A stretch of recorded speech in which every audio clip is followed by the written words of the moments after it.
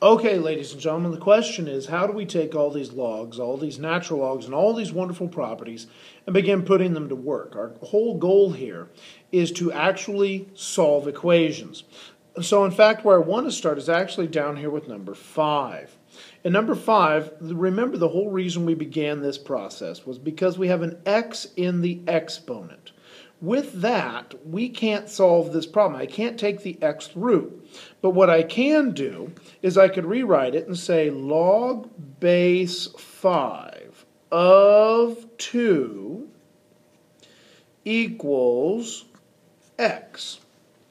And so now I have this thing right here. We say, ooh, so what? Well, you'll notice the variable is by itself. And with the variable by itself, then I can use my calculator to solve all the problems. So, if I come over here and I say log base 5 of 2, the problem is I don't have the base 5 button, so I'm going to have to use my change of base. So log of 2 over log of 5. Again, if you so chose, change of base property allows you to say natural log of 2 over natural log of 5. Don't forget your end parenthesis. And the answer is 0.43067. 0.43067. Well, not too shabby. We can do that. Well, let's go up here to number 2. Number 2, we come up with this x here, but how do I get rid of a natural log?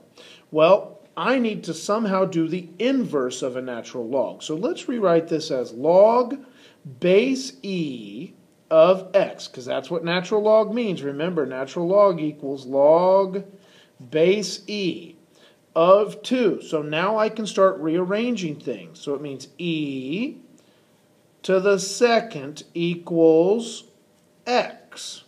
All right, e to the second equals x.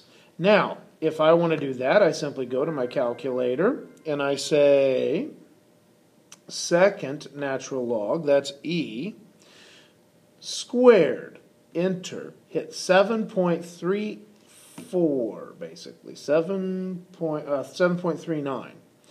x equals 7.39. And we've now just stumbled upon one of the very biggest things that we can do. If I want to undo an exponent, I use a log. If I want to undo a natural log, I need the reverse of that. The reverse of a natural log is the inverse natural log. And the inverse natural log is e. So we have e to the x is the inverse natural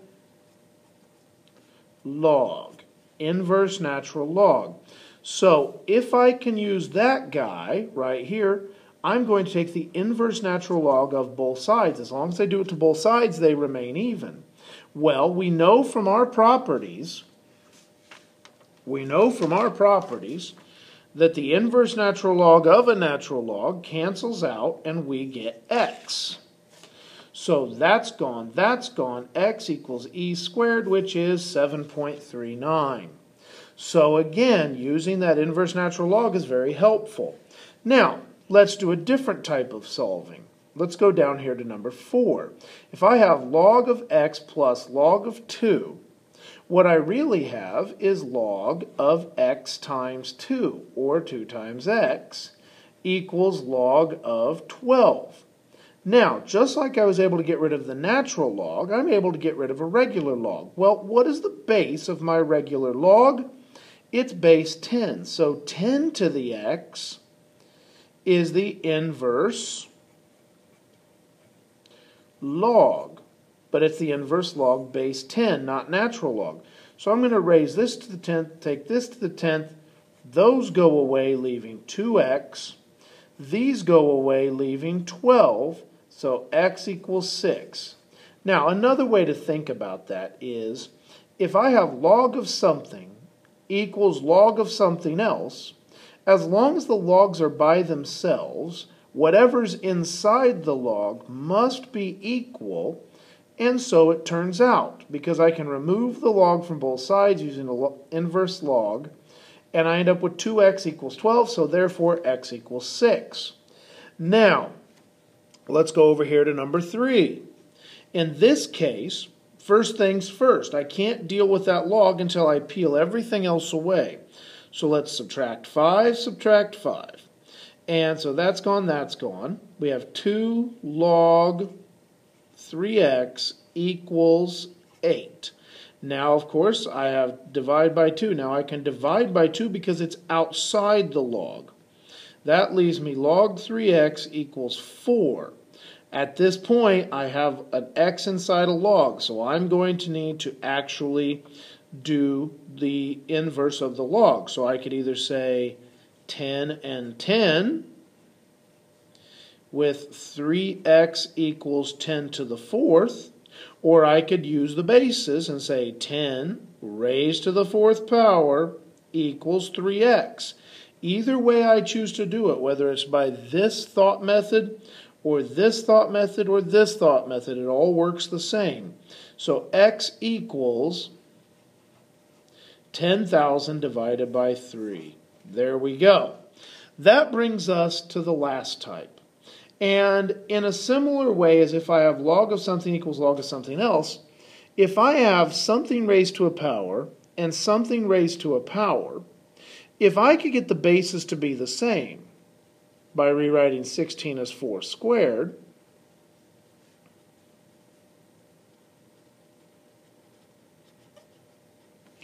then I can really start to simplify some things down. Now, if I have power to a power, if I have x cubed to the fourth, I'm going to say x to the 12th. I'm going to multiply those. That's the rule for exponents.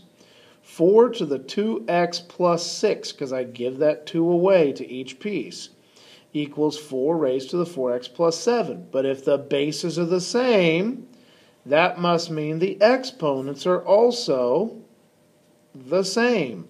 So 2x plus 6 equals 4x plus 7, and at this point I just simply begin to solve. x equals negative 1 half. There we go.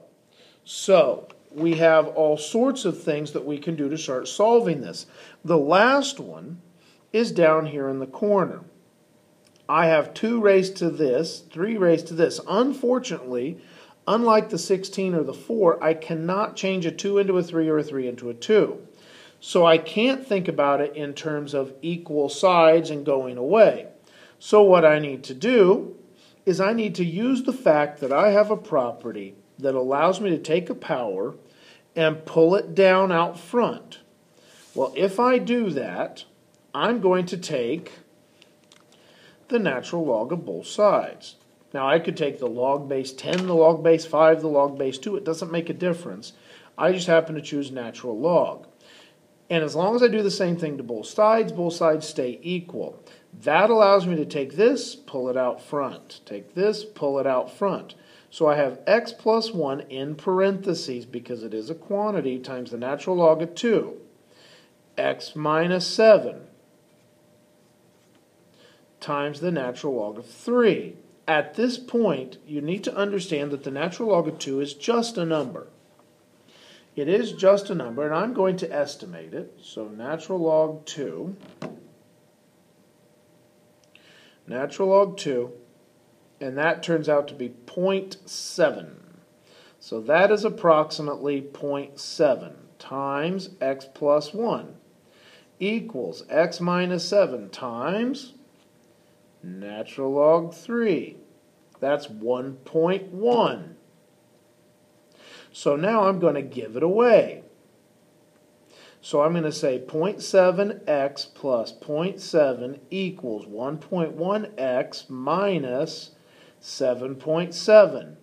At this point, I'm going to go ahead and subtract and reduce, get everything to one side. I get negative 0.4x equals negative 8.4. And so I divide both sides by divide both sides by negative 0.4 and you get x equals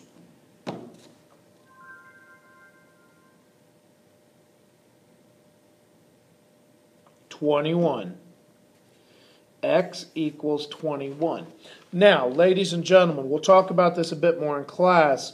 I used an, a decimal estimate of natural log 2. I don't recommend that. I used a decimal estimate for natural log 3. I don't recommend that. I use these so that you would see that this is nothing but a numerical value.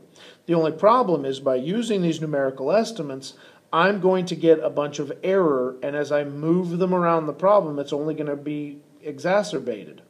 And so in this case, I get 21, but that may or may not be exactly the answer. We'll talk about how to do that more specifically in class. Okay, here's your homework for the exponential and logarithmic solving. So take your homework, get it done, turn it in tomorrow.